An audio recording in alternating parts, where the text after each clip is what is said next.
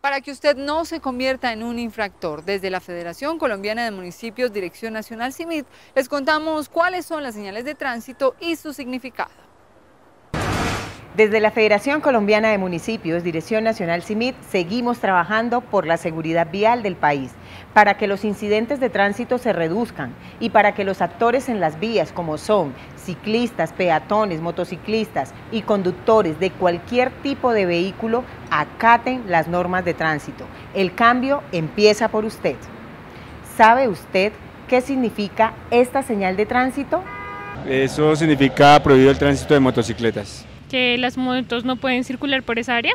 Esta señal se llama circulación prohibida de motocicletas y es una señal reglamentaria que se emplea para notificar a los conductores de motocicleta que está prohibida su circulación sobre la calzada. Desde el CIMIT seguimos trabajando por la seguridad vial del país.